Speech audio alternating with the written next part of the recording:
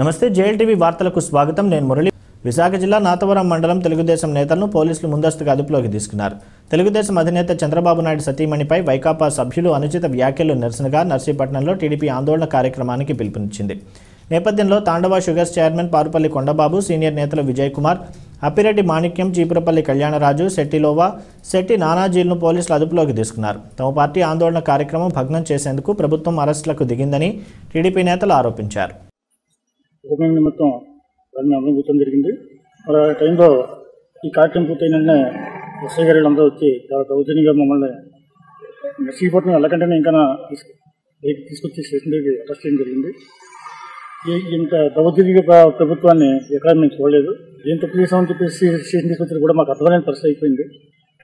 అలాంటిది ఇవాళ నిరసన తెలియపరచడం కోసం నర్సీపట్నం గ్రౌండ్లో ఇంటర్ గ్రౌండ్లో గాంధీ గారి విగ్రహం దగ్గర రేణుపల్లి గారు ధర్నా పెట్టడం జరిగింది. దాని నిమిత్తం ఇవాళ ఎన్ని గంటకి ఏదో టైంలో అవ్వాలని చెప్పేసి కార్యక్రమం ఒక టైం అనేది ఉంది దానికి. ఆ టైం వెళ్ళిపోతాం చెప్పేసి ముందుగా అరెస్ట్ చేయడం జరిగింది చెప్పేసి మరి గవర్నమెంట్ని ఇంత దౌర్జన్యం చేస్తుందని చెప్పేసి సభంగా విశాఖపట్నం అనకాపల్లి పార్లమెంటు నియోజకవర్గం తాలూకా మహిళా మహిళలందరూ కూడా జిల్లా మహిళలందరూ కూడా అన్ని కాన్స్టిట్యూన్స్ నుంచి కూడా నడిచిపట్నం మరి అయ్యనపతి గారి నాయకత్వంలో మీటింగ్ జరుగుతుంది. ఆ మీటింగ్కి మరి అనితి గారు స్టేట్ మహిళా అధ్యక్షురాలైన తెలుగుదేశం పార్టీ అధ్యక్షురాలైన గారు రావడం జరుగుతుంది. దాని కొరకు మేము అందరం కూడా మరి మేము వెళ్ళడం కోసం వెళ్తుంటుండగా ఇక్కడ అన్యాయంగా ప్రభుత్వం మరి ఇచ్చిన ఆదేశాల మేరకు పోలీసు వారు మమ్మల్ని అందరం కూడా అరెస్ట్ చేయడం జరిగింది. ఇది మరి మేము ఖండిస్తున్నాం.